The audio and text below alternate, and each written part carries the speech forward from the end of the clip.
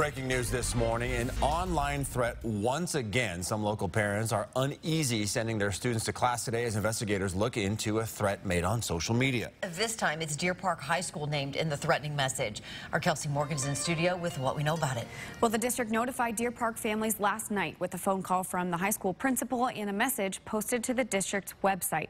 It says the potentially violent threatening message was posted to social media and was made against a specific group of Deer Park High School students.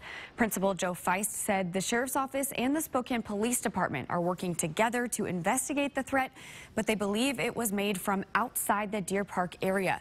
The letter goes on to say that given the information investigators have right now, they do not believe there is a credible threat to students. Classes will continue as normal today, though extra law enforcement will be on campus. District leaders say they will stay in close contact with those investigators and bring families any new information information that becomes available. Now, this is the second similar investigation just this week for local authorities. More than 600 students at Ferris High School stayed home Monday when an, when an online threat targeted their school. Police still have not announced any arrests in that case. Reporting in studio, I'm Kelsie Morgan, 4 News Now.